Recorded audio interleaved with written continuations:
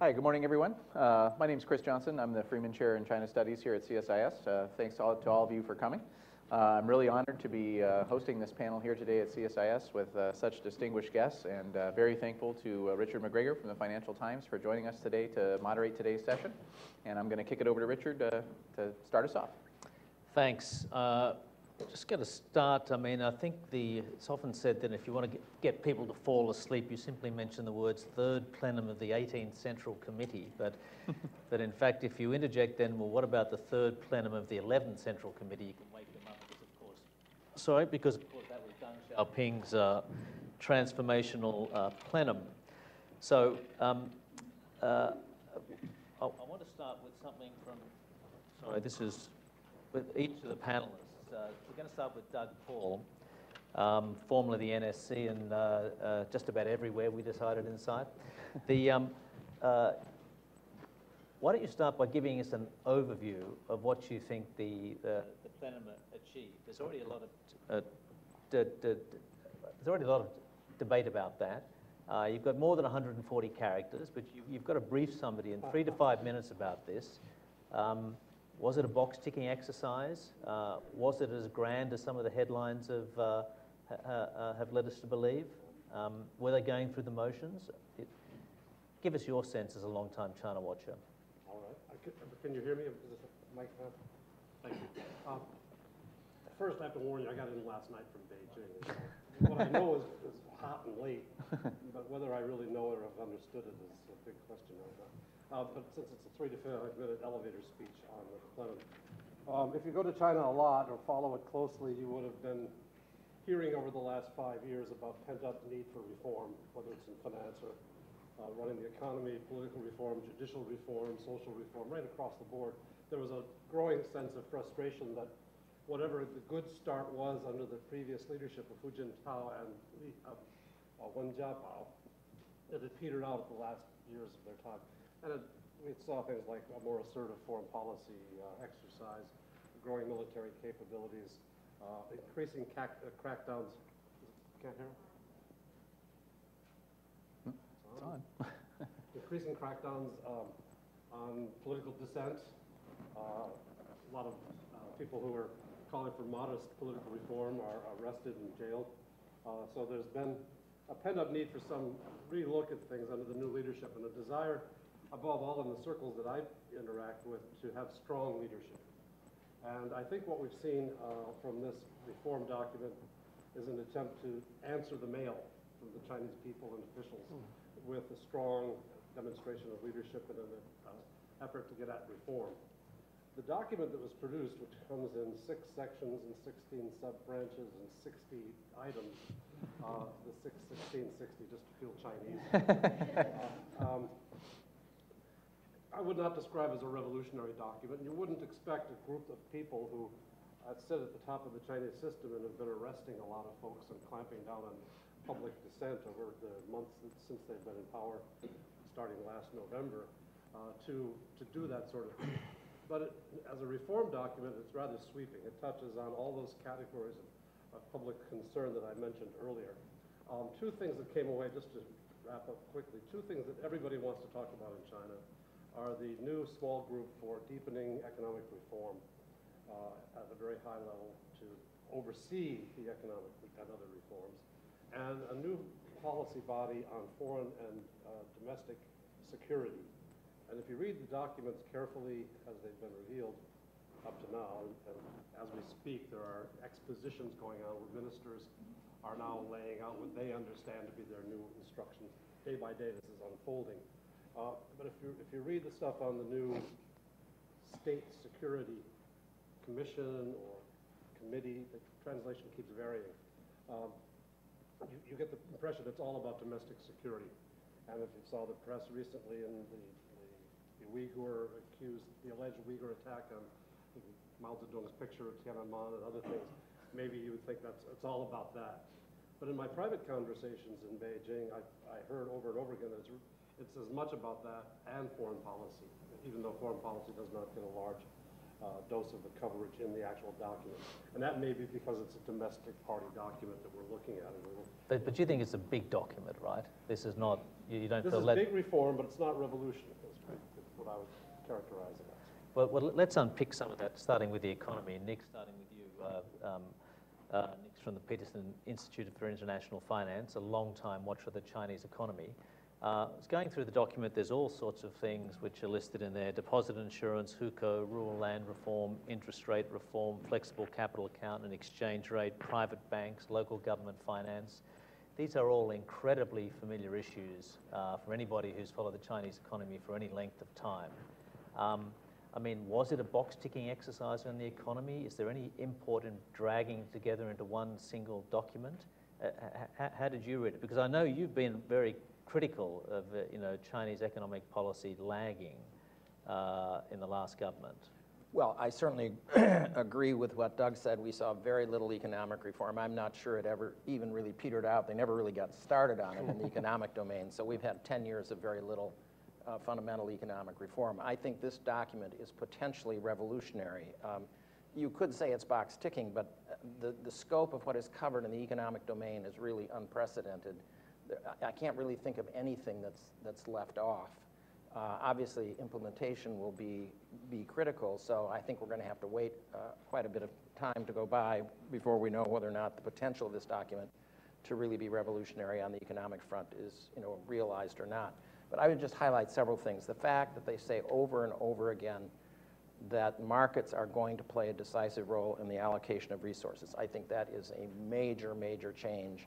It's an elevation of the role of the market substantially beyond anything we've ever seen before in a party document.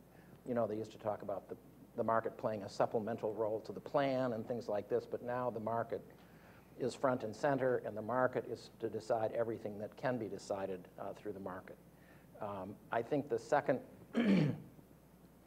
Second thing that uh, is very important is the, well, uh, let me just say first, related to the market, obviously, very explicit discussion of price reform for the key factor prices that have been controlled by the government, whether you're talking about the interest rate, the price of land, uh, energy, and so forth, uh, water, all of those things are going to be uh, reformed. And Then the second thing is uh, the significant discussion of increased competition. So I think these framing issues about having uh, markets being playing the decisive role and having more competition, a level playing field.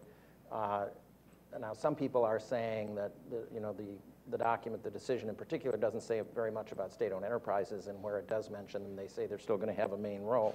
But state-owned enterprises have been the main beneficiaries of underpriced capital, underpriced energy, uh, and so forth. So if, if they follow through on these reforms, and if, they, if the hint about more competition implies that private uh, firms are going to play a greater role in some of the sectors where state firms are still in a very strong monopolistic or oligopolistic position, this will have a very dramatic effect on the way the economy operates. Uh, so uh, those, to, those things to me are the highlight. So yeah. potentially revolutionary on, on the economic front. Just one follow-up question. We're going to come back in the panel to the issue of implementation more broadly, but all the sorts you think, sorts of things you talk about, and particularly reform of pricing. I mean, this document looks like a massive defeat to ask a sort of China geeky question for the uh, the NDRC, the sort of the old sort of state planning body. Is that right? Because they're the ones which have kept many parts of the financial system uh, uh, and and the pricing system under wraps. Well, I certainly think this is a, if, again, if they follow through, this will be an erosion of the role of the NDRC.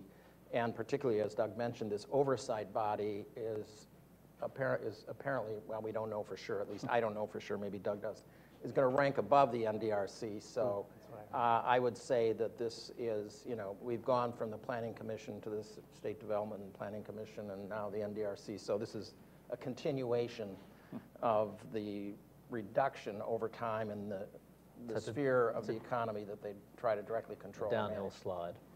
Um, I want to come to Chris now and to another aspect of the document, which I think maybe has got a little bit less uh, discussion in the media, perhaps not in China. There's two aspects to the sort of broader um, security focus of the document. There's a sort of so-called uh, Chinese NSC being set up, something which has also been discussed for years and years and years. And Yeah. Um, you also noticed, uh, what stood out for you also was the potential, the start of, uh, of a, a potentially massive reform in the way the military is structured. Right, So could you just drag that out of the Sure, document sure. Um, I mean, on the former, I just, I, I just like to echo what Doug said. I, I, I think that uh, people are misunderstanding the focus of this new body. It was made very clear to me when I was in Beijing that it's going to have a, a, a very strong focus on external as well. Um, and that the, while that part is not being particularly publicized, it has been interesting. You get the sense that there may be some friction actually within the system over the writ uh, of this thing because it, it was initially translated into English as State Security Committee, even though, of course, the Chinese is the same that they use to describe the U.S. and Russian National Security Councils. Uh, and the foreign ministry was very quick to come out and say that it was focused on extremists, terrorists, and, and uh, separatists. And so they seem to be trying to define uh, its focus as very much domestic. And then, very interestingly, when the, when the full plenum decision was released, and more importantly, Xi Jinping's companion explanation, in there, interestingly, suddenly there was a lot more talk about the international role of it. And also now the English translation seems, seems to have shifted to National Security Commission, although it does seem to be bouncing around uh, in, in the central media. But what are they trying to do that, that they're not doing now? I mean, Well, what body do? Coordination is, is going to be the key. I mean, this has been a fundamental issue now for some time. They've been talking about this for two decades. Uh, they know they need it.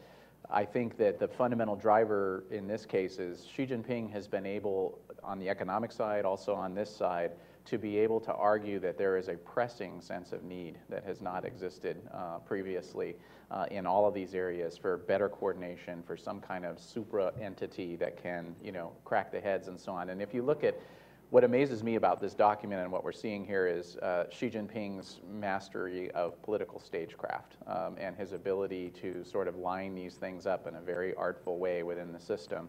In particular, uh, it seems to me that he started this process on at least the domestic side some time ago by removing the, uh, the Zheng Fawei system, the, the Politi- Politics and Law Commission, from the standing committee, kicking them down a peg, going after Zhou Yongkang and the security services, there's a clear pattern, you know, moving in this direction because, of course, that, that oxen is going to get gored the most. On the PLA stuff, uh, again, to me, uh, it is potentially revolutionary. We're going to have to see a lot more, but my impression is this is the most public they've ever been. This discussion has also been going on within the system for many, many years about changing the PLA's command structure away from a sort of uh, ground-focused uh, territorial defense model where the primary threat was the Soviet Union and domestic enemies, quite frankly. I mean, that's what a military region system is designed to do. If they go toward this operational theater, it's going to be externally focused with a much heavier emphasis on joint command. And what's really interesting is how they're, in the document anyway, how they're marrying those two concepts. So there will be a, a joint command system at the CMC, Central Military Commission level, companion with these war zones um, at the theater level. And it's a fundamental change. They will have to massively downsize the military, especially the Army, uh, and you'll lose a lot of general officer billets uh, in that process. And also, it will make them a much more capable fighting force if they're able to execute. Uh, you know, they have the hardware piece. They've made tremendous strides in the, in the last decade plus. I think it's fair to say on the software side, their ability to do command and control, uh, combined joint operations and so on, has been lagging. This, if they follow through on it, will be substantial. And it's also the first time that I can recall that any plenum document has mentioned major military reform in a very long time. So it's like the economy in some respect, all sorts of things they might have wanted to do have been Right. massively accelerated. Yes, exactly. Um, now, of course, there were two documents. There was an initial vague communique, then there was the 21,000 character document, so-called The Decision, which came out. It made it sound like a John Grisham novel or something. Um, the, uh, uh, and it, it, it, goes, it goes far beyond just the sort of uh, your meat and potatoes macroeconomic reform, uh, the kind of military and security issues. Um, and there's all sorts of other things that, uh, Robert, you wanted to talk about. I should introduce you, Robert Daly, who's the head of the, uh, the Kissinger Institute on China and the US at the Wilson Center. Uh, the environment, uh, stuff about the rich-poor gap, uh, Right. hints at uh, a, a new or expanded or slightly liberated role for NGOs. Can you tell us what you took, it out, took out of those sort of Yes, I think this is all aspects? part, part of the political stagecraft that Xi is demonstrating his mastery of. And I think we need to look not only at the two documents you mentioned, but at some of the documents and the announcements that had preceded it, including Xi Jinping's discussion of, of Chinese history and what he called uh, the two undeniables, the Lianga Buko Ren, in which he set up his uh, justification for his new reforms, which couldn't be criticized either by the people who were Maoists or, or Dengists. And he did that very cleverly. And of course, he also wrote the document that followed uh, the decision document. So we tend to focus on uh, the economic reform, the political reform, uh, to parse out what the individual policies are going to be. But I think we also have to look at the decision document in its entirety and understand it as a public document, as propaganda, as Xi's announcement to the Chinese people, and as a piece of rhetoric. What else is in there? A tremendous amount about improving the environment in China. Uh, what they call Shengtai Wenming is, is throughout the document. Concern for uh, the rich-poor gap. Uh, one of the phrases that actually Madame Liu Yandong has highlighted since she came here is this line that says, improving the welfare of the Chinese people is our setting off point and the point at which we land. It, it's the entire arc. Touches at great length on corruption, on issues of social justice. There are about 23 uses of the word gongping or fairness, but also gongzheng, zhengyi, justice throughout, and a great deal of emphasis on social governance, what they call 社会治理, instead of the old phrase social management.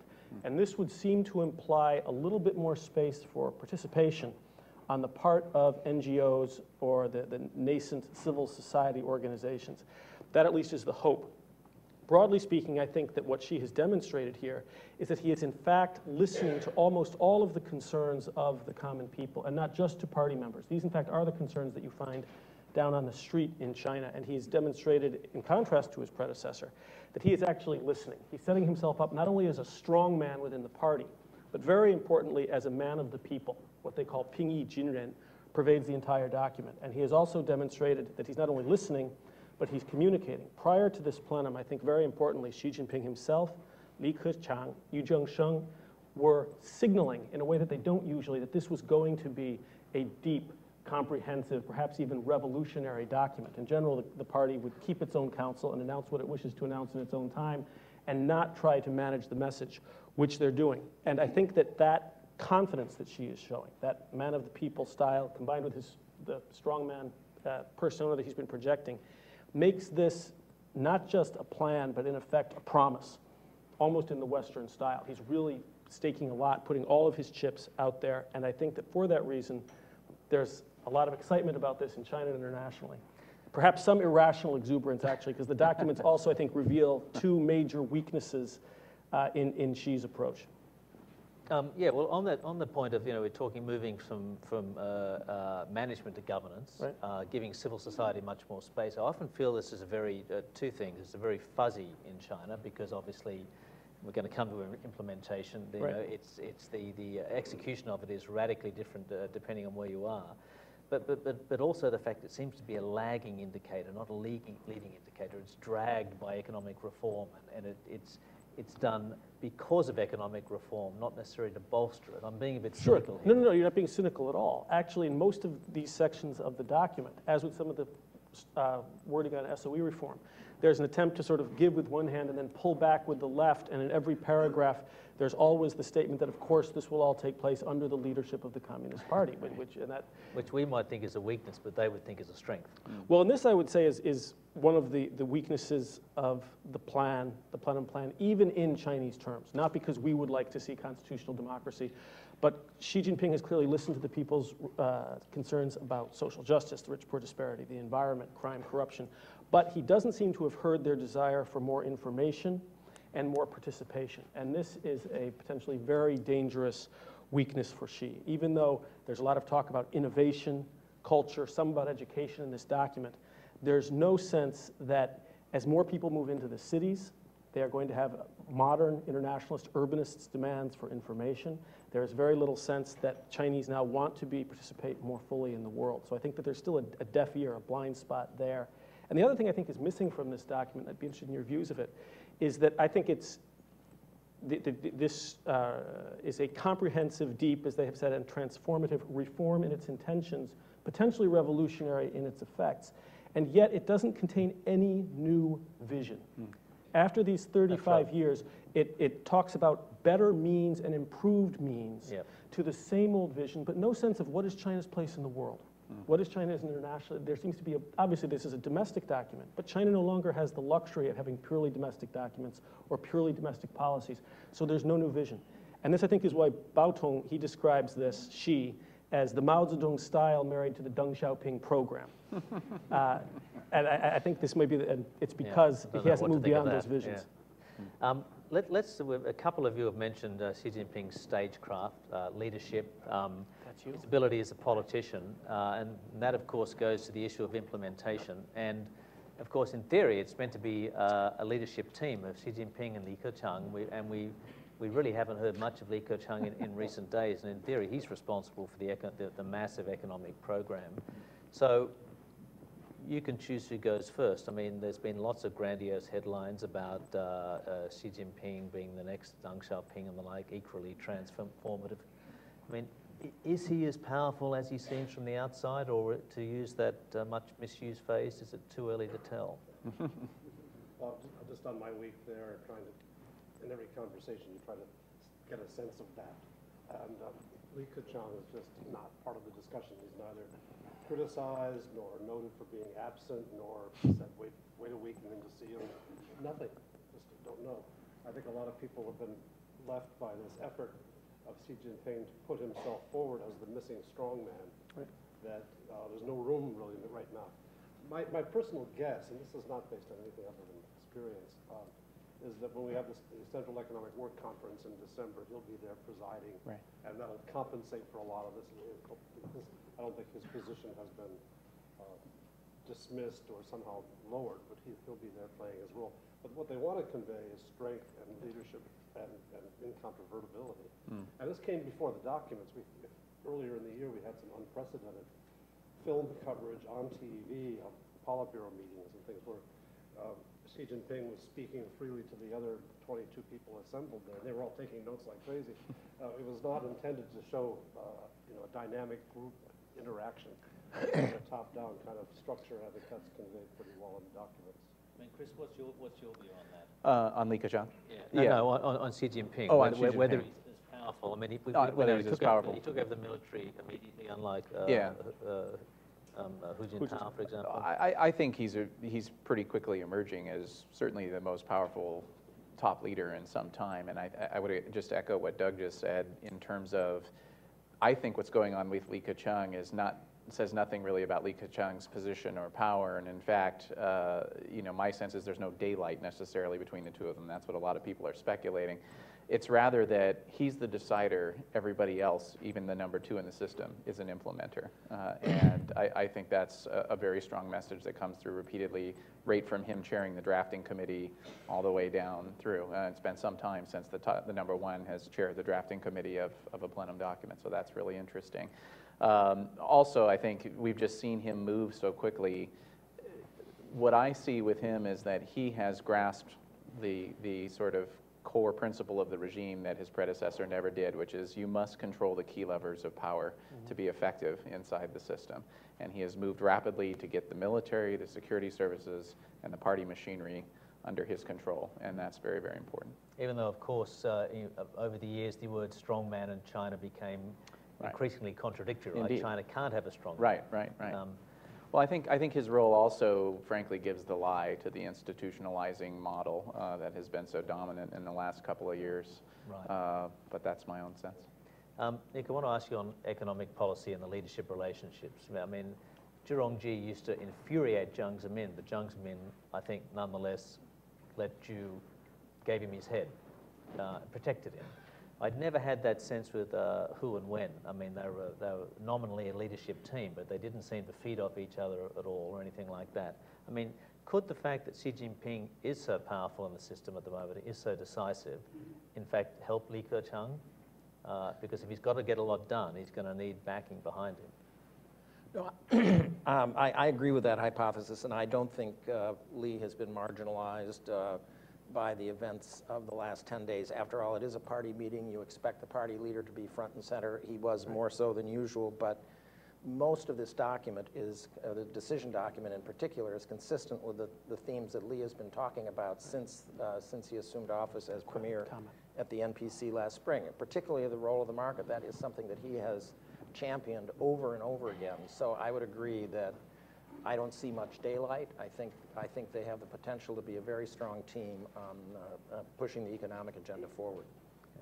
Uh, More a question for you than than a comment. Doesn't uh, Xi also potentially need Li Keqiang, once they start actually implementing reforms, and we know whose oxes are going to get gored and who's going to pay the price, he needs Li to absorb some of the criticism and absorb some of the blame if things go wrong. Is that potentially part of Li Keqiang's role as well in this strongman implementer scheme? Maybe, maybe there's some of that, but remember, Xi has also taken the leadership of the finance and economic leading small group, which is something Hu Jintao did, you know, passed off to Wen Jiabao. So I thought early on, that signaled that Xi was going to have a dominant role, at least in setting the overall tone. Now, the, one of the key things will be what the structure of this overall reform body is, uh, who's going to be on it, uh, what role Xi will have in that, what role Li will have in that, and um, I don't know how soon we'll have any visibility on that. Let's just come to one issue that a number of you mentioned in passing, and that is uh, uh, corruption, anti-corruption campaigns, um, and the, also the issue that Chris mentioned about the whether or not there's an institutionalization process going on, which in theory would undermine the party. Um, the, the, uh, the first year uh, under Xi has seen a big anti-corruption campaign, mainly directed at the so-called, I love this term, petroleum mafia. um, uh, and it, it seemed to me, I mean, whenever these things get going, people say, oh gosh, they're taking corruption seriously in China now. But of course, this really seemed to be uh, what Chris was saying is this is, is- this is a political move to grab the levers of power and just punish a few people on the way to make sure everybody else knew it. Um, am I being a bit cynical there? Do you think this was a real campaign? Everything I've heard uh, over the last week, and I've had really good access, is this is a serious campaign. Yeah. That the, that the officials feel the heat from the people mm, on Right. this one. But it, it can't be too serious. future I mean, where, where does it stop if it's serious? Well, what, the, what, I, what, I, what I found fascinating, and of course, we'll- we'll have to see how the implementation occurs, was a discussion of trying to move this exercise away from the party and into the courts, mm, mm. and to make the legal system be the compelling force behind getting people one after another uh, for this corruption. Robert? I don't think there's necessarily a contradiction between the campaigns being serious and being selective. Right. It has to be selective uh, for reasons of capacity, if, if no other. Now, being selective, obviously, politics is going to enter in. But but is- selectivity doesn't mean that it isn't serious. It's not selective because, because it's capacity. It's selective because you can't, you, if you were really You can't go after everybody, yeah, but that's a no, capacity. You, you- you can't close down the government. No. Uh, But nor do you have the judicial means even to go after everybody. So it- I- the selectivity of it, which is inevitably going to have a political character, I would agree, doesn't mean that it isn't serious. Yeah, and um, And A lot of it's out of their hands. It's going Yeah. to be stuff that gets revealed by the Weibo. Right. It's going to be the photo of the corrupt guy doing that's the little guys, though.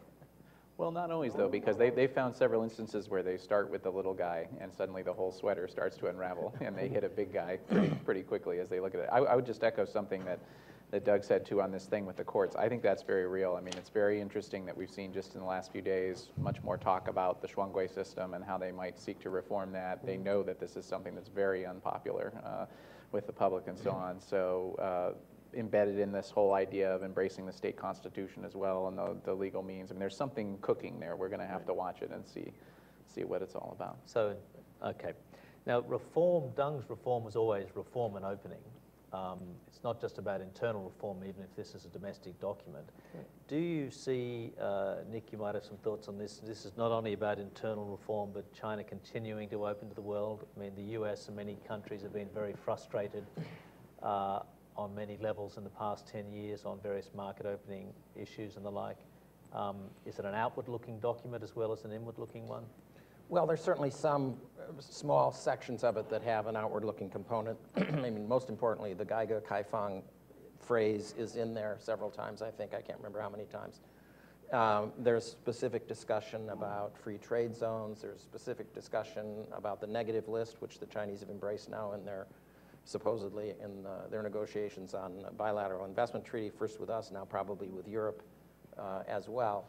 Uh, and as I said before, there are hints of more competition uh, on protected sectors, which could include allowing a greater role for foreign firms in some of the monopolized uh, state sectors. Now, whether that, th- that seems to be the signal that's in there. But um, I would say that it's, it's pretty positive on the international side, although it's a, it's a small segment of the, of the document. I'd like to make a point that hasn't been made this morning, but I don't think people here would make it, but I'm hearing it a lot, and that is that this is going to doom the state sector. State-owned enterprises have been put on notice that this is time to migrate into a kind of private sector. That's not the message I, I've picked up. Me neither. People in China really think this is going to liberate some of the state-owned enterprises from some of their social obligations, some of the limitations that have been put on them. And they expect to come out of this much stronger. Now, they acknowledge, everybody acknowledges, there are some state enterprises that ought to be allowed to go. Uh, They refer to them as zombies in, in the Japanese uh, model of the 1990s. And they shouldn't be, continue to be financed. But there's a lot of trust that they're going to come out with some world-beating corporations that are state champion, championed by the state uh, through this enterprise, exercise. I, I, I totally agree with that. I would just add that I, I think that's cl- very clear in this document. You know, the goal is not a fire sale of the state-owned enterprises and privatization, but rather creating competition that does indeed strengthen the state-owned enterprises. That's, that's abundantly clear. And that's really been the game plan since they started the reform and opening process. Um, Just before we go to questions from the audience, I mean, is it, we often read about how the, uh, the Communist Party is, you know, is deeply worried about maintaining power, deeply worried about stability, uh, paranoid about its enemies at home and abroad and the like. Um, This document strikes me as free of a lot of that paranoia, in other words, much, quite confident. Um, uh, Did, do you find it a confident document? I find it a document that strives to project confidence, uh, and, and that projects it uh, fairly successfully. But I think that behind it lies these same concerns about stability and the same fairly secretive and paranoid style throughout. There's, there's a lot of Wizard of Oz quality to this. Right. And we haven't had the curtain pulled back to show what- what lies behind it uh, quite yet. Because I was just going to say, this, this also, I think, really highlights the whole anti-corruption campaign piece, you know. To, to people abroad, you know, four dishes in a soup and these things sound absurd, but it, it, it identifies a problem, and that is what the common people see every day, the rapaciousness of local officialdom and so on. That's why they're the target of the campaign, and things that might sound silly to us with the numerology and, and the phraseology and so on is actually very meaningful in their system. But when, when you talk about it being a potentially revolutionary document, that simply means that, doesn't it, that China will become a much stronger, richer, powerful country under a strong communist party, doesn't it? And it's not revolutionary in another sense. Well, this is where I say reformist, deeply reformist in its intentions, potentially revolutionary in its effects. Uh, you know, you open a window, you let in a few flies, as Deng Xiaoping said, and here you're, you're potentially blowing down one side of the house. The notion that despite this confidence, they can control all of the outcomes or anticipate all the outcomes of these reforms, that's simply not true. It- It's going to be a, a very complex, exciting process, but I think it could be revolutionary in its effects, meaning in, in, with reference to the, the power of the Communist Party. It will have effects that they don't anticipate. Our beginnings seldom know our ends. It's got a lot of work for a whole range of China watchers. That's right. But that is a very important underlying element to it, is that throughout the document, I see places where they're effectively saying, we realize we've been, to use football terminology, scoring own goals in a number of these areas, and we're going to stop doing that. You know, now obviously implementation will be the key. They have to fix these problems. But if they're successful, they will be much more capable and powerful and influential. Okay, so going to, I think, about time for questions, is it? Um, Sure. Yeah. Um, anybody uh, like to ask questions? And yes, from Brazil. Lots of hands. I remember, yeah. Wait for the mic, please. And identify yourself. Hi, uh, my name is Cláudia Trevisan. I'm a Brazilian journalist from the newspaper Estado de São Paulo.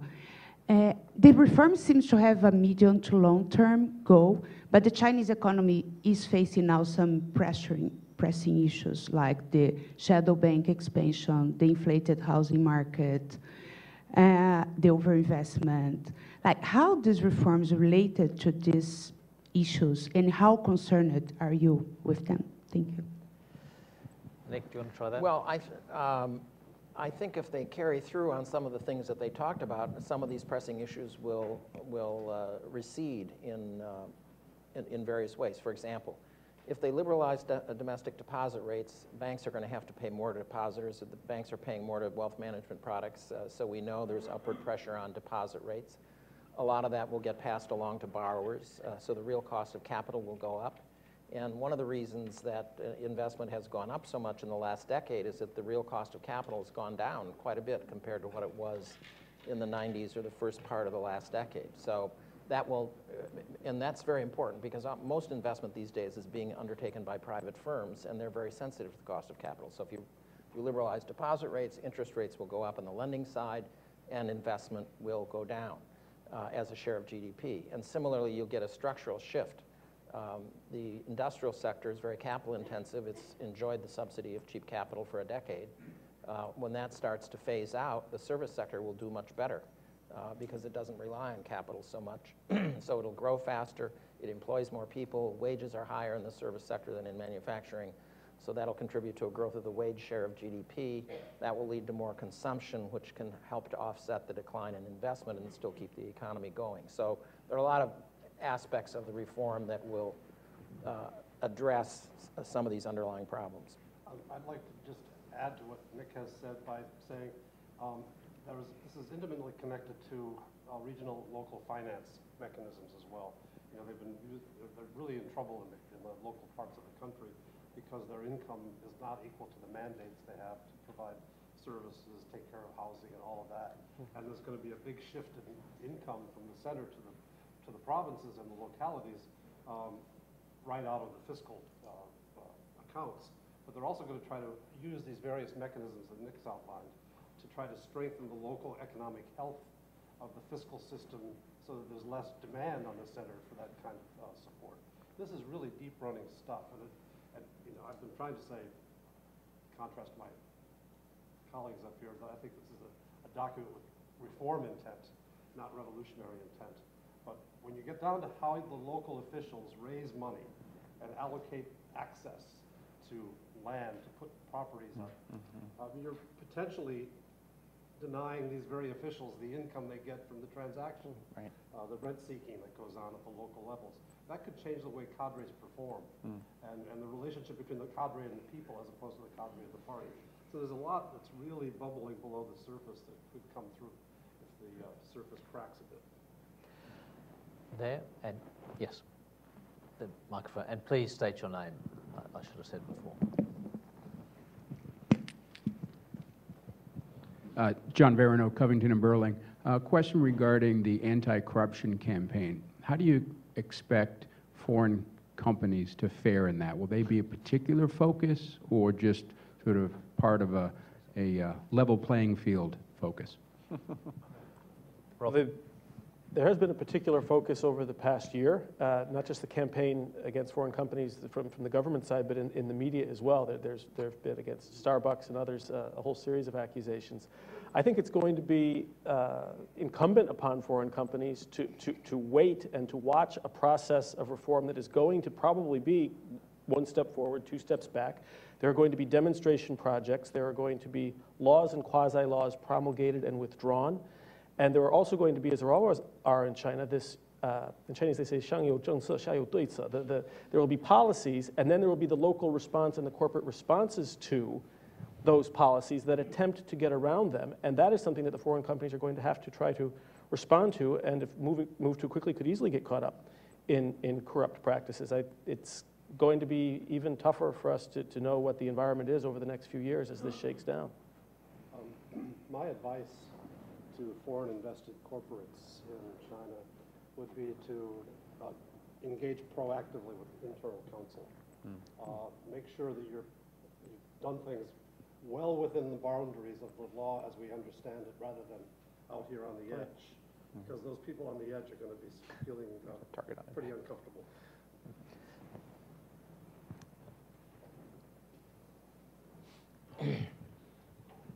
Thank you. Uh, Jane Tom from Taishin Media.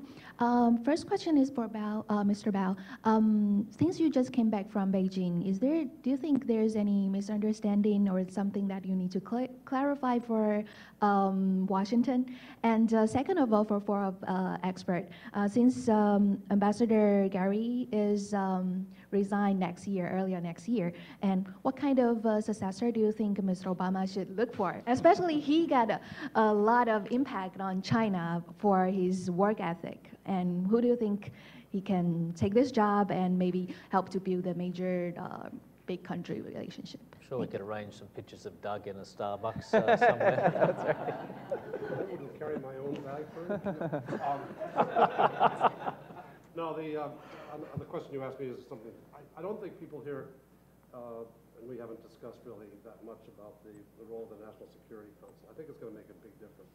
Yeah. Um, the, one of the things that China confronts in the 21st century institutionally that it needs to fix is the fact that the military operates in one seat one system, and the foreign, op, foreign policy apparatus is a whole host, starting with the foreign ministry, but Ministry of Commerce and all the big trading firms and all these.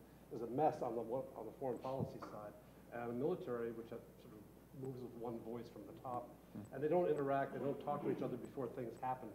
Go back to the example, the famous example of shooting down an anti-satellite, uh, a satellite, creating an international furor, and the foreign ministry was left with nothing to say for several days. Um, I don't think they want that to happen again. They're going to try to create a mechanism. That mechanism, I believe, logically must reside above the foreign ministry and above the, the foreign affairs office of the central committee, which means it's probably going to be a new czar. And there's an assumption among my conversation partners about that being a Politburo member hmm. presiding over the process. This is this is a big change for China. For the military hmm. to talk to a civilian about what they're going to do hmm. is not going to come easy in, in the Chinese system, but it's something that China, I think, institutionally can't avoid confronting. And this, this document sets out the mechanism to do that. Chris, you want anything to say on that? I, I would just add to, uh, to that by saying uh, that uh, it will be interesting to watch the membership of the National Security Commission because my sense is the PLA, of course, is quite comfortable in the CMC, where, where there's 10 of them and one of, with shiny things and one person without them, right? You know, and, uh, and so uh, I would assume that a serious deal has been made. So I would expect to see some senior PLA officers serving in high positions in the, in the commission. I actually think it's going to be probably possibly chaired by a standing committee member because if it is commission level, um, that means it's a dash line, you know, off of the at least the Politburo, maybe the standing committee. So we'll have to watch structurally where it sits.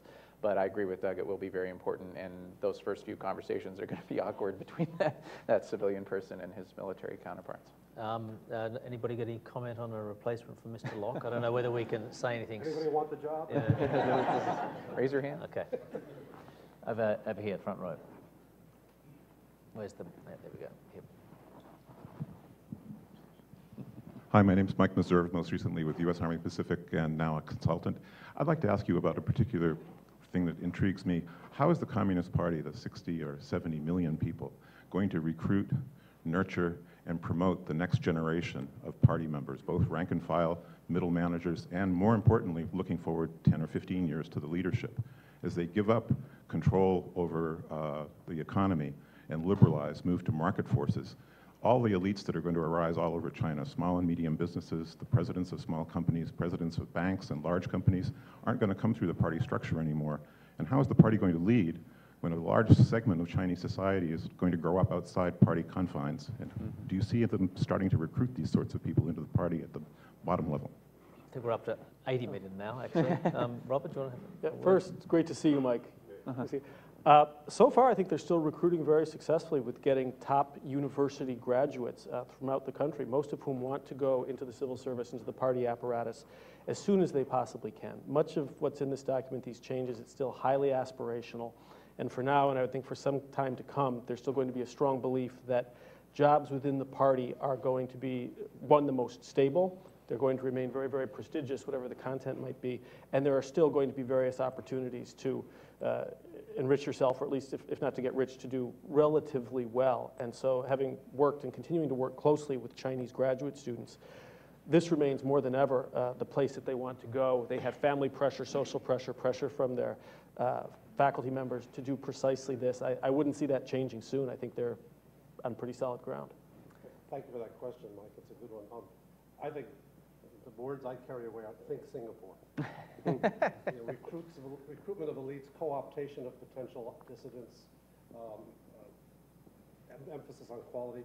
I did hear very explicitly uh, that the the people who were promoted under Jiang Zemin because they were rich are not going to get promoted because they're rich, and they're not going to be kept around really.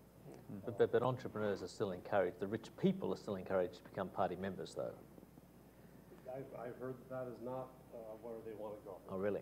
Mm, Interesting. Okay. There, second row there.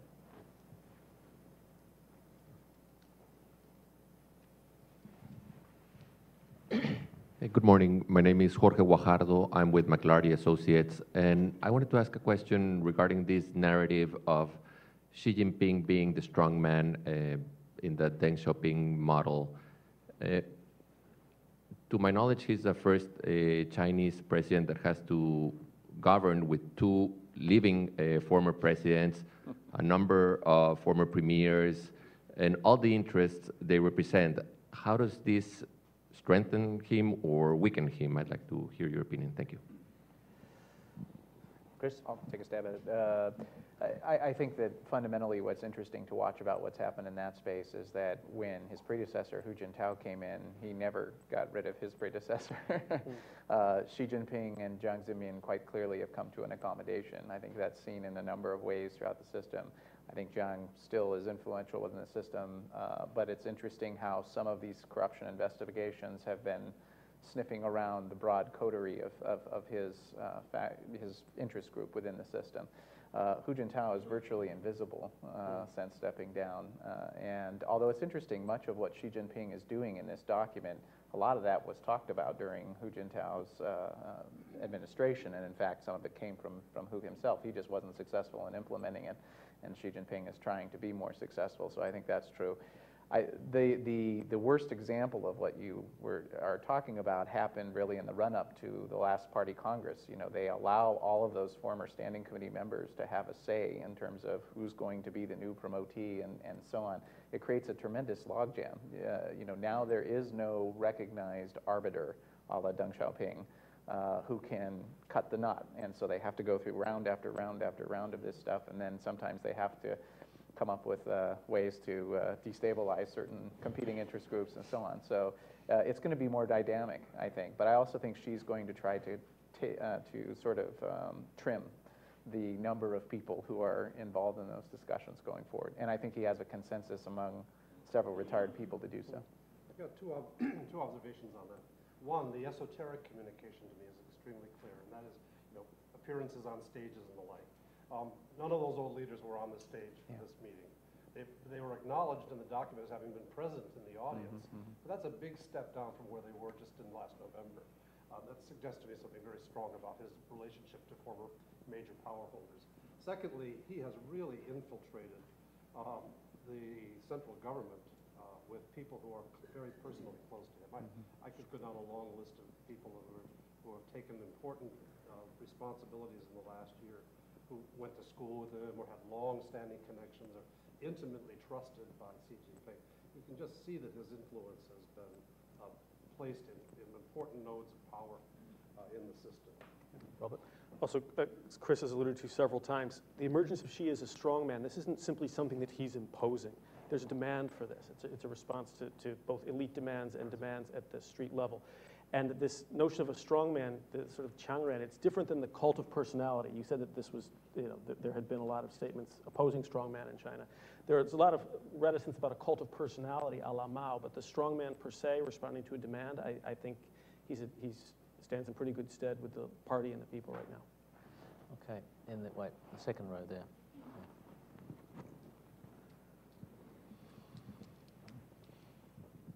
Hi, my name is Tenzin Kunsang, and uh, my question is about the implication of the third plenum on regions like Tibet, especially uh, with regards to domestic and foreign NGOs.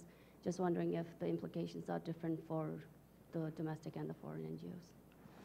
So, yeah, domestic and foreign NGOs? Well, there, there's, there's very little about uh, nationalities in the plenum documents except the usual boilerplate about representing all of the nationalities of China, and there would appear to be very little concern for these questions. I, I think that the implications, not so much of the plenum itself, but of the past year, uh, would be that there won't be much space for domestic or foreign NGOs uh, operating in Tibet or in Xinjiang or other sensitive areas. I'd be quite pessimistic about that. I attended a conference on philanthropy in China last week, and all the key people in this area were there. And I didn't hear a word on uh, new scope for NGOs, anything like that. And, and I would subscribe to what Robert said about the, the history of the last year where the, where the institution is enforcing itself and trying to uh, prevent um, alternative sources of societal organization and power from emerging mm -hmm. to the party. This side, the second row there.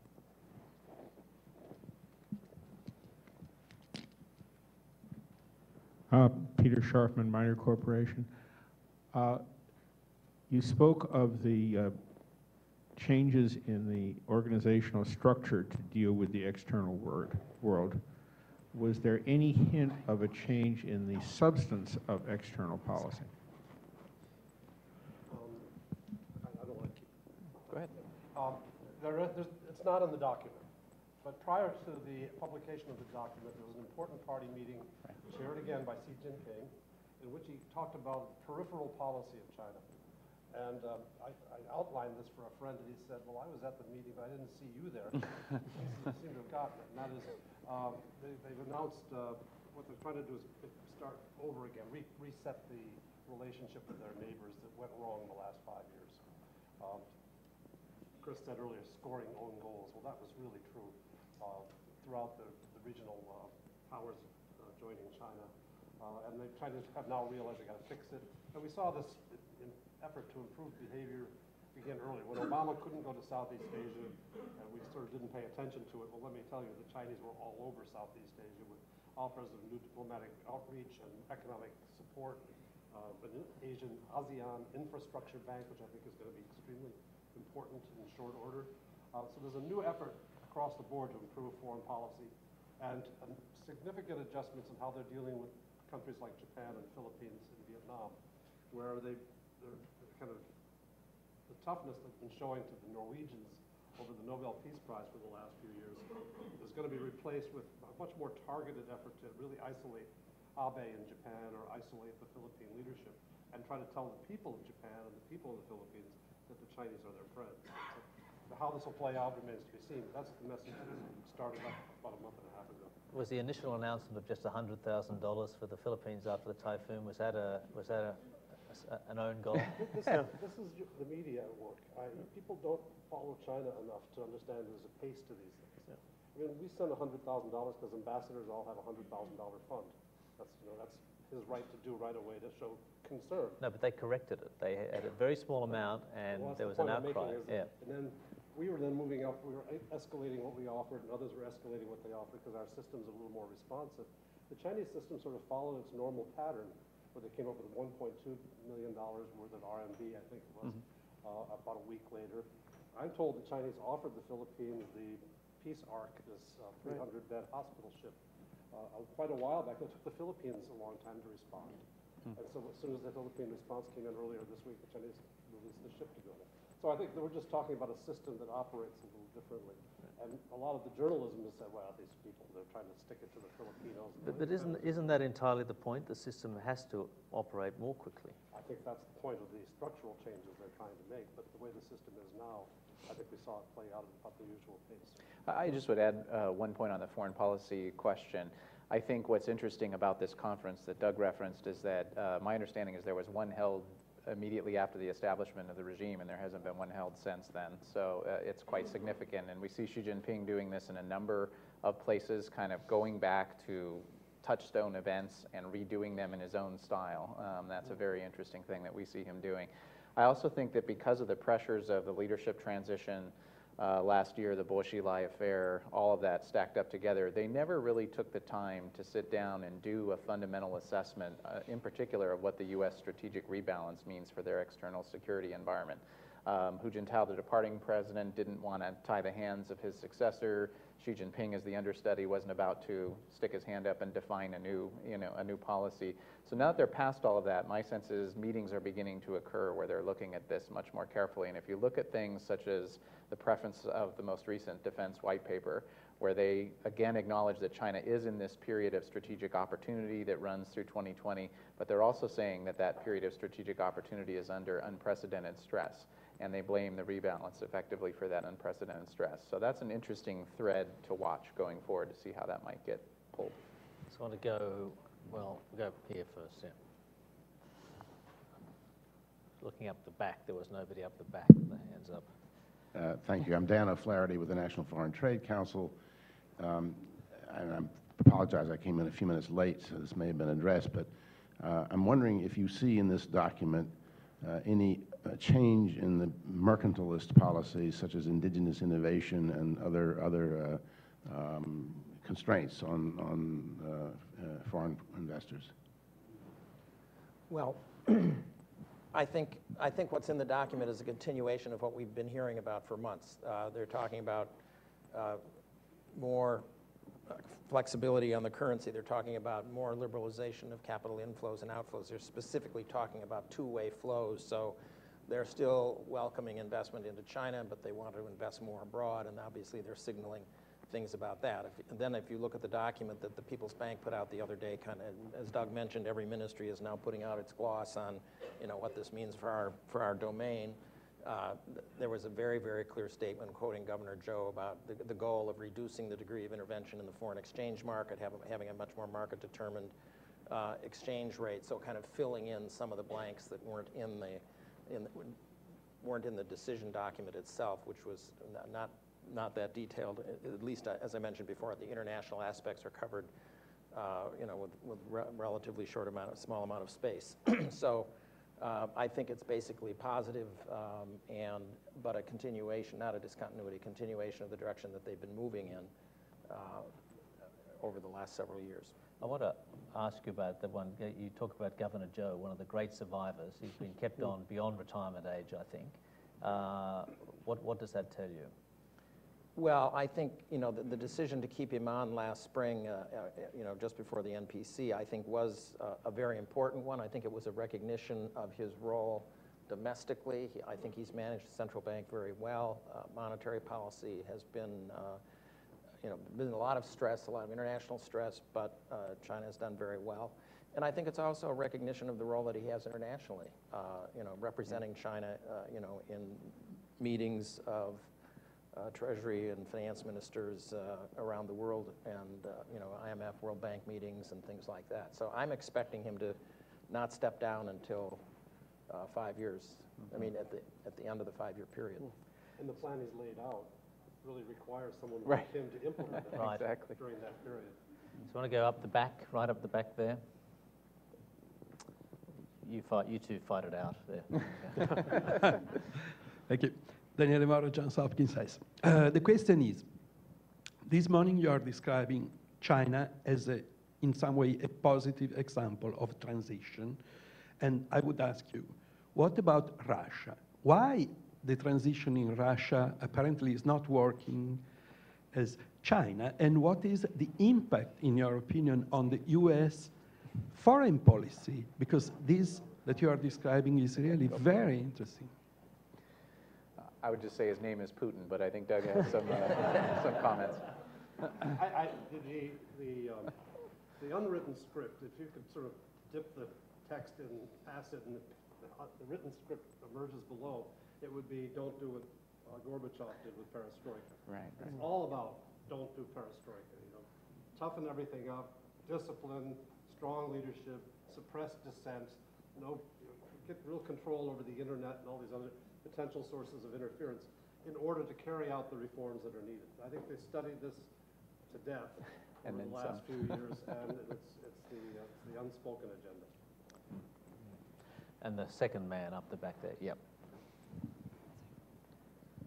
Okay, I, Ken Wen from TBAA. Uh, Xi Jinping is talking about China's dream, but from this document, it looks it looks like uh, from economical they're going to go to the extreme right, and from political side they're going to extreme to the left. And if this happen continuing, uh, they do the economic without politics, right? How do this uh, Chinese dream ever come true? Okay. It sounds right and left very loaded in China. Yeah. Um, well, Robert, you wanna Yes, have a go this at is, that? right. Uh, The China dream, of course, it- it's still very vague. And uh, this language is being mimicked not only in, in China and often in the United States, uh, as though this were a, a serious form of discourse. I must say, for me so far, I find a lot of this dream, dream, dreamer talk, what is your China dream? It may get fleshed out, but it seems kind of infantile. Um, But on the question of of you up the, late at night. but on the question of this uh, Zheng Zuo, Jingyou, is, is this sustainable? I think that, that this is the contradiction that, that hasn't been resolved by Xi Jinping. Can you really tighten down politically, tighten down on communication, tighten down on information while modernizing, while creating national champions, while uh, developing worthwhile patents, while having an innovative society? I think that the answer is that uh, they probably cannot. There's room at the margins to, to develop for a while, but over the long term, probably not. And, and there's no evidence in these documents that they see this. Hmm. Say there's, there's a lack of vision, and there's no attempt here to really take on modernity in its totality. Mm-hmm, mm-hmm. It's very clear that they still see modernity, as Deng did, as consisting of increases in standards of living and increases in level of technology. But do you mean modernity is essentially Inclusive- genuine political reform? Modern, integrated, open institutions uh, and uh, free flow of information and, and more innovative educational uh, institutions. Constitutionalism type thing? Well, that, that, I don't want to seem to be imposing too many of the Western systems on it. I think there's a way of describing aspects of, of modernity that are essential, that are not necessarily just Western, and I see no evidence that they've really started to deal with them. Again, it, it's better means to the same ends. So I was going to, Chris, I was going to say, but the contradiction that Robert talks about in theory is the, the eternal contradiction Yeah. under reform and opening, and so That's far the what I was Chinese have gonna say. managed it. Yeah, well, so- uh, that's sort of what I was going to say, and I actually think the, the problem may be even worse than, than Robert just stated in terms of, I think they've actually convinced themselves that they can Mm. do it this way for a sustained period of time. Yeah.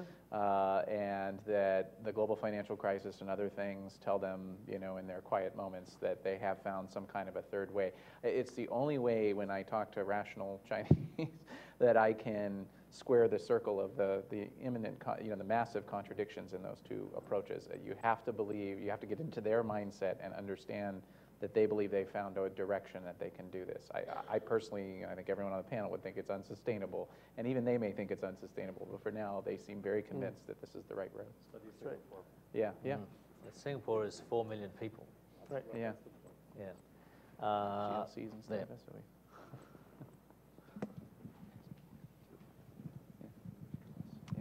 Thank you, Deng Huiyu with China Review News Agency. I have two questions. First one, uh, a couple days ago when the National Security Advisor Susan Rice made a speech, uh, she said that uh, this is an opportunity that the United States must seize. So how? Uh, what's your uh, advice or recommendation for President Obama or even the next president? The second question is, uh, if this uh, reform plan is fully implemented, do you think it would uh, strengthen the so-called Beijing consensus or even China model? Uh, what's the implication for uh, U.S.-China relations? Thank you.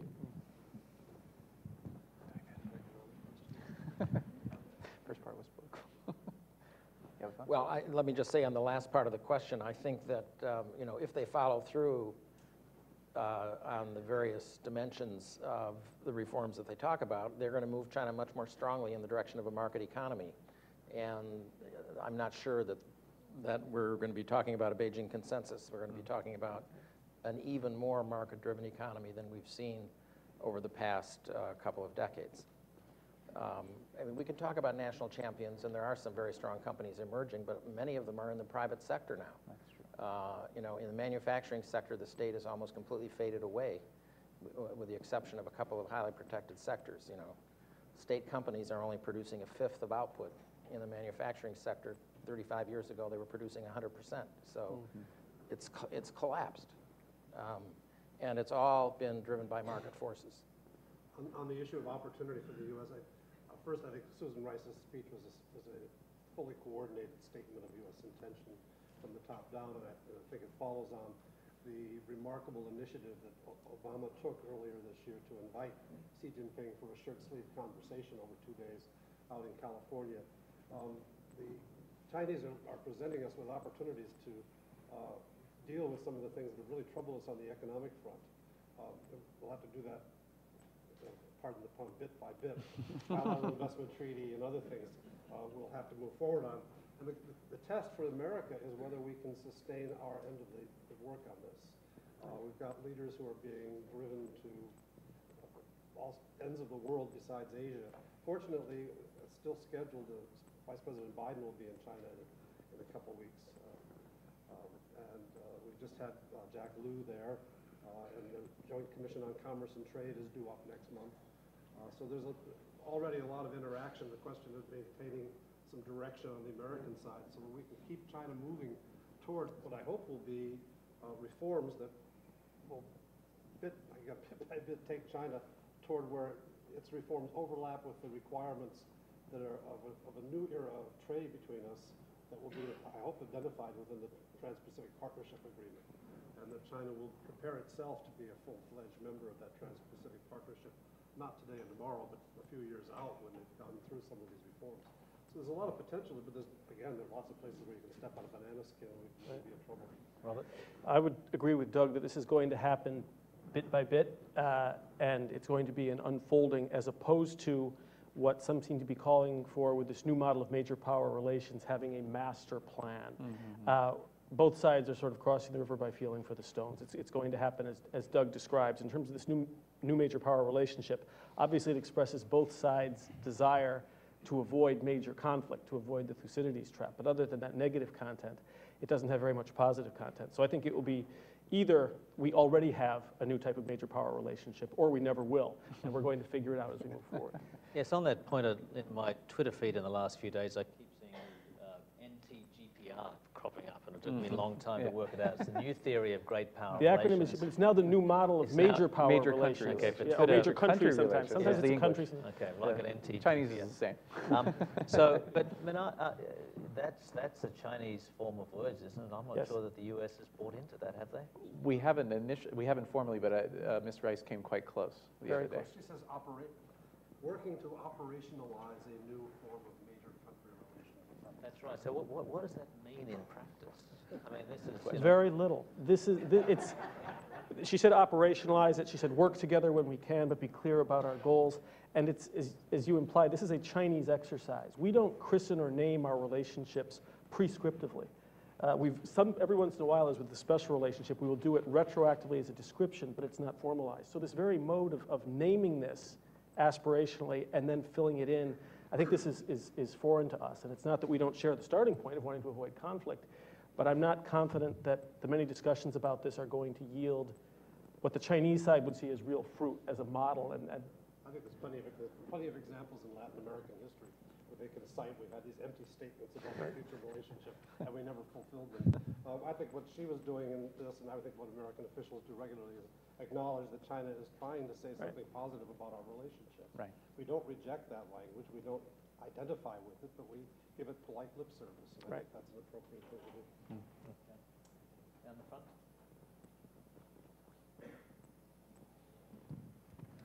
Thank you. I'm Jeannie Nguyen with Voice of Vietnamese Americans.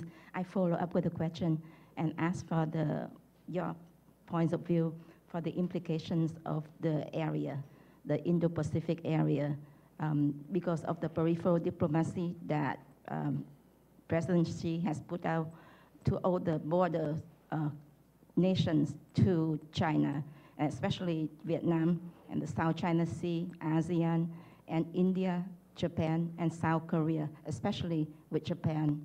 Um, but whether you see the next year and the next five years, the tension would be in the area, in the maritime sovereignty between the East China Sea, the South China Sea, and all that region. Thank you. So this is a big uh, issue. I, I noticed Yeah. Viet- Vietnam the other day. It's another session. The ma- masters of this game actually gave an Indian company seven oil Mm. leases of Right. uh, Vietnam. Which I, yeah, Yeah. which I thought was interesting. Um, uh, this document, I don't think uh, um, um, the plenum doesn't uh, look particularly at the South China Sea issue No. or uh, regional sovereignty issues. Um, But the, but the party Congress, uh, Hu Jintao's address to the party Congress does, and it identifies China as a maritime power going forward for the first time in the history of the regime in an official document. So that's a very important, that's a very important statement about uh, what they're thinking. I mean, you know, this, there's this whole debate now, right, within some elements of the system. Should we be moving west, staying east, doing both? You know, uh, there's a lot of that discussion, and I think in the authoritative documents, they keep highlighting that maritime is a very important direction for them. Xi Jinping's held, I think, two Politburo study sessions on Mm. this now, um, where he's made some pretty interesting remarks about the direction. And, and there's a lot, there's a lot to see in it that's cooperative, and there's a lot to see in it that, that suggests that you know they have a game plan with regard to what they hope to accomplish in both of those areas. Yes, I'm wondering how you maritime that idea, marry the idea of the maritime power with these very difficult, sensitive relationships and sovereignty issues on both sides with six or seven nations. Mhm. I, I, I think that um, the leadership in Beijing has the belief, in the example of Japan, that they can keep the heat on the pot of the Senkaku Islands and on the Abe government without it boiling over. They can send four to five maritime surveillance vessels and overcraft, uh, overhead aircraft uh, from time to time to assert their claim on the territory, and that this will not lead to incidents that will get out of control. I think my sense is the Japanese leadership has a sense that they also can uh, manage this at a low level of tension without having to resolve it, so that this will go on for a long time. If you look to the South China Sea, you know, you kind of look at the geography and say, well, they've kind of used up all the places where they can start getting into strife. So maybe we'll have a period of quiet. I raised two issues. One, one is, um, China's Navy is, is kind of new. They, they were out of business for six hundred years. And they, and they've come back, and I can't count on them having to, dis- certainly do count on the Japanese military to hold great discipline. because They've been, they've shown it for sixty years. But the, in the case of China, this is new, like, you know, accidents are very likely to happen. And secondly, uh, another wild card is whatever the UN does. I mean, Most of the Yeah. tension over these islands has emerged uh, in the last ten years, fifteen years, has come from functions of the people who run, administer the UN law of the sea, who declare, you must tell us what your disputes are by X date. And suddenly we have disputes all over the world. And, and, and people have to show their publics that they're acting on those disputes by deploying their armed services every year. So hopefully we won't have much UN activity on this. Can I, can I just throw in there that, that I actually think this is the big risk, is that the top leadership does think they have a very defined flame control over this, and I don't agree at all. I, you, you have in Wu Shengli, the head of the Navy, uh, a self-described Mahanian figure, you know, it's, I, I, I think there's a lot of potential there for, for danger. Okay, um, there.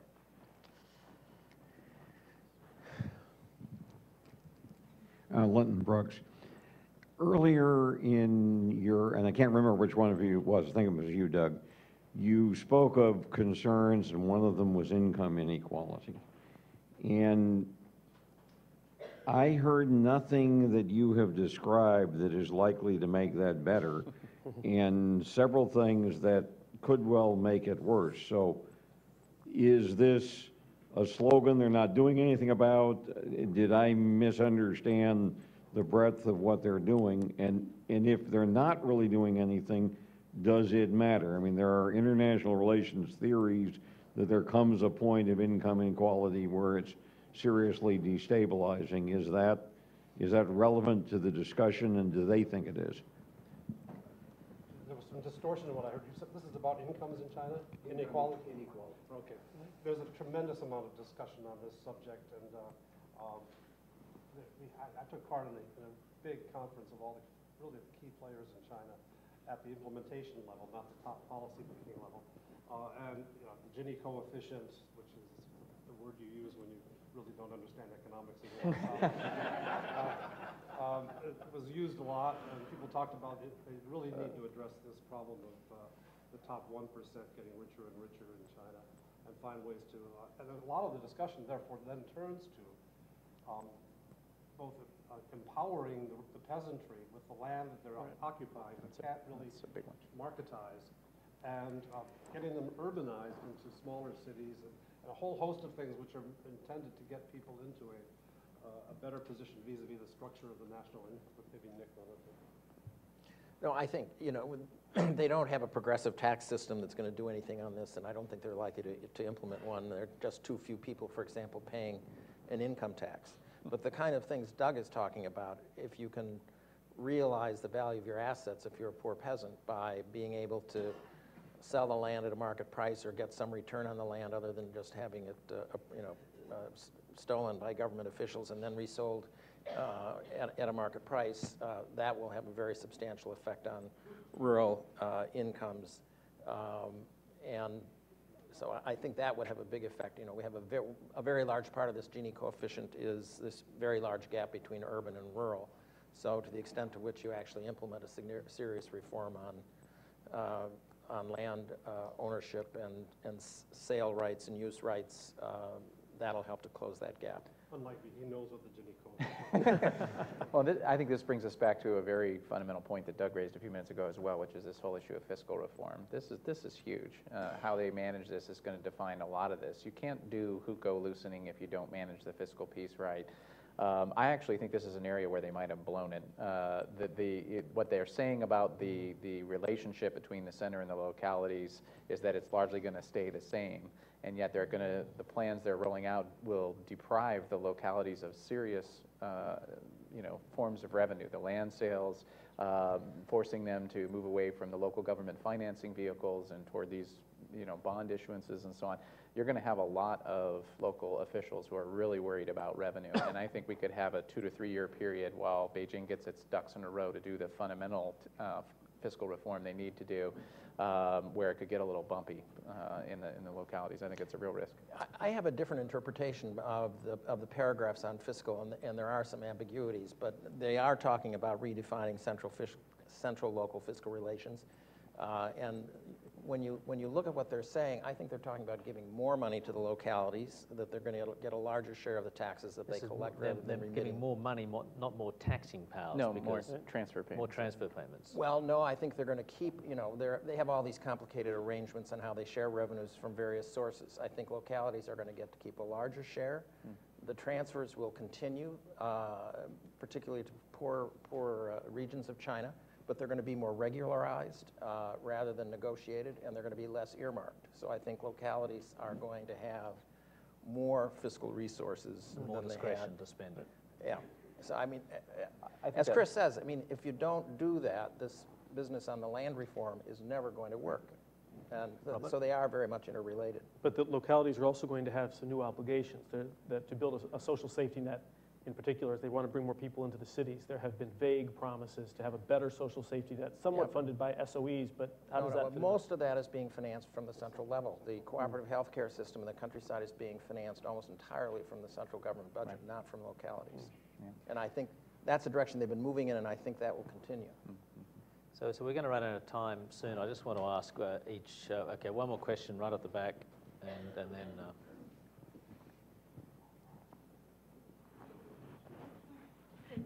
a reporter from the Voice of America. I have two questions here. First is about uh, the anti uh, anti-corruption campaign. And earlier we are talking about the Chinese anti-corruption campaign and talk about its seriousness and it's been like selective.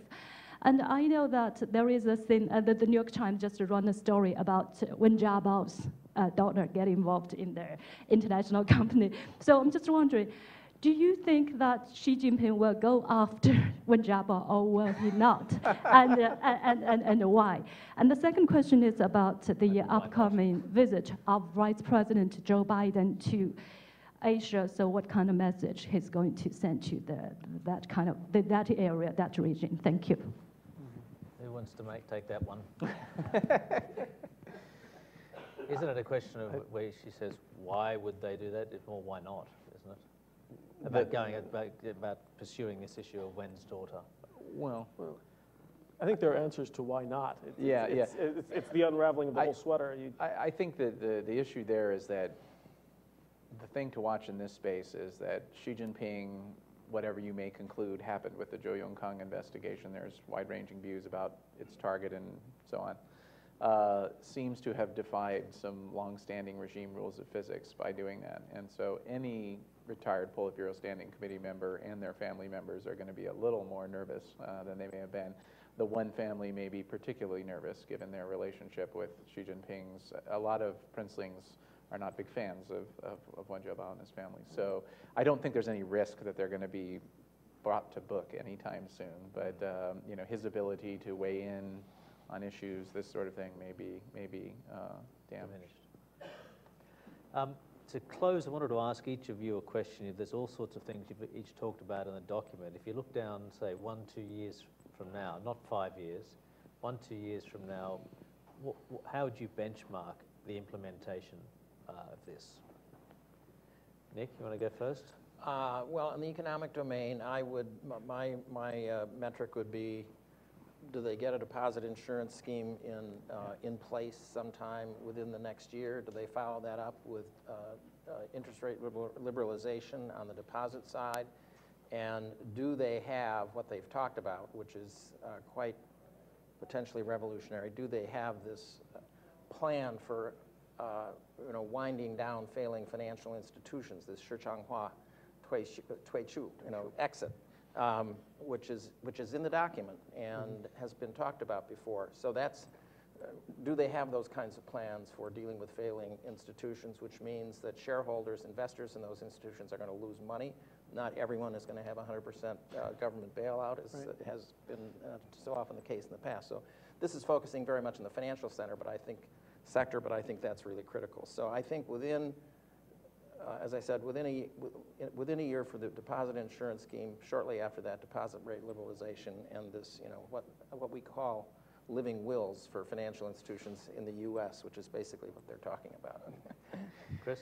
Yeah, I, I just would echo real quickly on the financial sector stuff. I actually think it's, it may be one of the things we can track the most easily because it's so clear what they have to do. And you, and as, as uh, Nick pointed out earlier, they got the right people in the jobs to be able to, to, to drive it through, so that's important.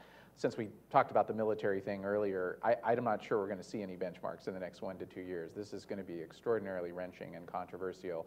The indicator in my mind on Joint Command, though, is they need to establish a, a separate Army headquarters. Um, you know, right now, the, the, the green is, is the whole PLA. You know, they need to, if they establish a separate Army Service Command, then you know they're moving in a very different direction than they have historically. You you really need a, a, a good CPU to sort of lay out all of the things that are in the document, and then it will have their own Benchmark. benchmark and timeframes involved. Uh, Certainly, just a single one of them out, the foreign policy uh, adjustments, um, I would expect to see rather fast. And if they don't happen fast, all the rest of it's going to get shaky because it'll be a sign that there's something wrong with the authorities' Mhm. effort to implement something as important as a better coordination of the military and diplomatic activities and uh, and the related activities that China's engaged in outside China. Yeah, more broadly, I think the real test of Xi's will and skill will be whether he is clearly willing to harm some of the vested interests within two or three years. There's this attempt throughout the document to give back with the left hand what you seem to be taking away with the right and to balance while claiming that this is transformative and, and deep reform. So whether it's local governments or princelings or SOEs, it seems to me if we have clear signals within about three years that he's really willing to take on some of these people, then he probably is. He's got to pick some fights. Right. Hmm. And just finally, China has evolving sort of uh, institutionalizing uh, of succession, political succession. Uh, do we think this is a 10-year term? Is that, is, that, is that for sure? I mean, it seems to have been the case with Jiang and then uh, Hu Yeah. and Wen. Is this, is this uh, have they got 10 years? The- Built into this in every conversation is, he's got to, the challenges to Xi are coming from the five members of the Politburo Standing Committee who are not really with him. They're on the committee, but they're not reformists of their nature. And they, they're going to be there for the duration of the five-year term. But the real opportunity for him to shine will come when he can replace them Yeah. after Right. the next party congress. That's, that's a, a theme you hear over and over again. And in fact, that's what's so interesting too about establishing these supra bodies, right? Uh, If they move some of the personnel that they're saying they're going to move from their current positions to staff that body, it creates tremendous opportunity for future Politburo level slots where he can salt his own individuals into position. And I think Because the- that's his game plan. Because the standing committee will turn over in, Yeah, in five yeah. years, right? Because of age restrictions, Yeah. five Yeah. of them have to leave. Yeah. Although even there, I mean, it's, this is one thing that's interesting. It's important to note that, you know, the party constitution actually has very few actual rules. People talk about rules. There aren't that many. They've changed the age restriction multiple times uh, to suit political expediency. So let's see what happens. Okay, on that note, thank you, uh, Nick Lardy, Chris Johnson, Doug Paal, and Robert Daly. Thank you very much.